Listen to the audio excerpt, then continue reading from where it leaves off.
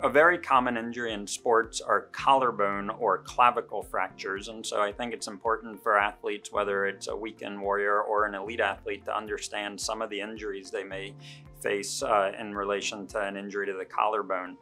The collarbone runs from the chest over to the shoulder. When it attaches at the chest, we call that the sternoclavicular joint. When it attaches at the shoulder, we call that the acromioclavicular joint.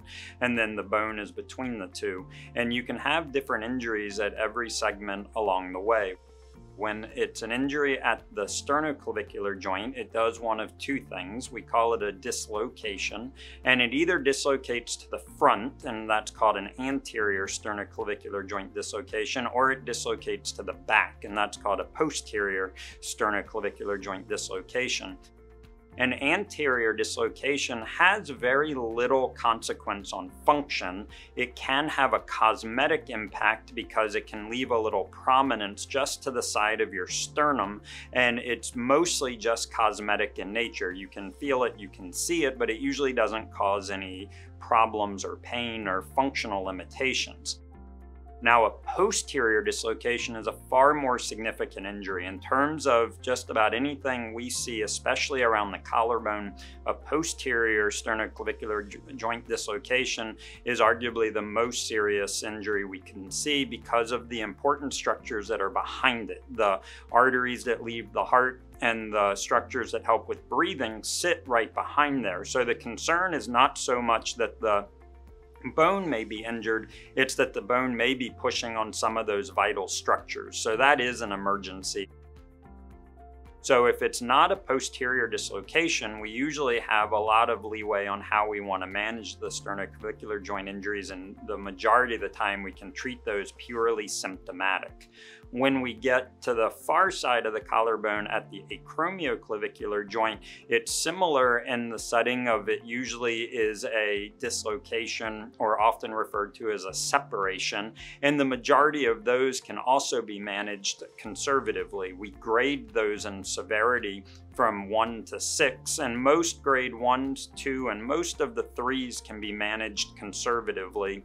When you start to get four, five and six. And then if a grade three just isn't getting better, you do a surgery to basically push the collarbone back down and hold it there with a new set of ligaments because they got injured at the time of the original injury. So Again, an AC joint separation is one that for the most part we can manage symptomatically and with physical therapy and rest. But if you start to get into one of those higher grade injuries, we may need to talk about fixing it. And then for the athlete, it would take a four to six month recovery time to get over that.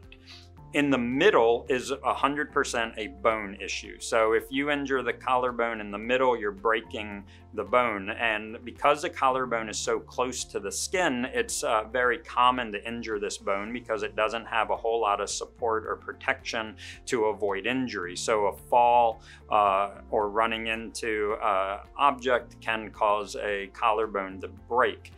A number of these injuries can also be managed conservatively and often go on the heel without a significant impact on function. But if the break is too separated, uh, we will sometimes fix that, and then that can often mean putting plates and screws to line up the break so that it can then heal. The drawback there is that because the collarbone is so close to the skin, oftentimes that plate and those screws can be felt, and we often recommend taking out the hardware once the bone is healed. But we find that especially in those really displaced injuries, that the athletes uh, can do better if we line the bone up, let it heal, and then eventually remove the plate so that you can go on to have a anatomically reduced and healed fracture.